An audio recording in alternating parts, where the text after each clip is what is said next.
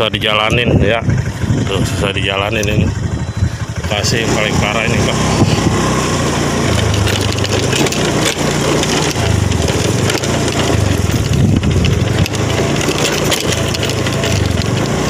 Ya sisi paling parah.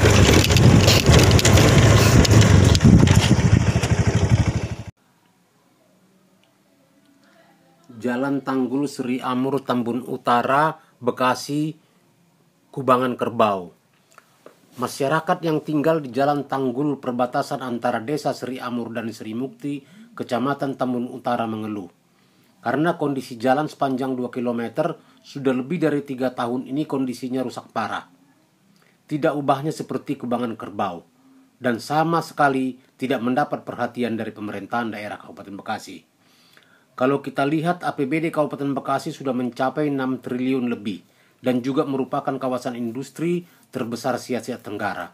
Namun masih juga ditemukan jalan yang kondisinya bak kubangan kerbau, kata Ucuf selaku toko pemuda Tambun Utara kepada Delta News TV Bekasi. Menurut Ucup, kesedihan melanda hati masyarakat Kabupaten Bekasi karena belum dapat menikmati indahnya pembangunan karena terlihat banyak jalan di wilayah ini kondisinya hancur. Ini merupakan bukti nyata bahwa Bupati Bekasi kurang peduli terhadap pembangunan yang ada di wilayah Kabupaten Bekasi ini.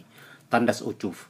Dikatakan Ucuf, Bupati Eka tolong dong tinjau ke daerah-daerah, kecamatan maupun desa-desa yang ada di Kecamatan Tambun Utara.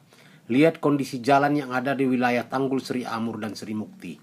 Kalau memang Anda nggak mampu untuk membangun jalan yang hancur di wilayah kami, lebih baik Bapak mundur secara hormat tutup ucup kepada Delta News TV Bekasi.